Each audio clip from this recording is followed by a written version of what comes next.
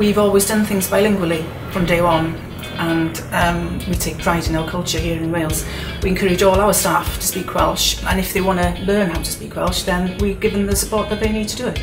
In our bases down in Cardiff and Llanelli, the staff aren't as Welsh speaking as they are here. So what we do try and encourage is that the staff answer the phone in the first instance in Welsh and then they can pass whoever wants to speak in the Welsh language on to somebody else who does speak Welsh. Is that if, if they can speak Welsh to a paramedic or a doctor, I mean that's just a massive bonus for them, isn't it? Yeah. So it's it's not about us going out and promoting the business, it's about promoting what, what's best for the patient.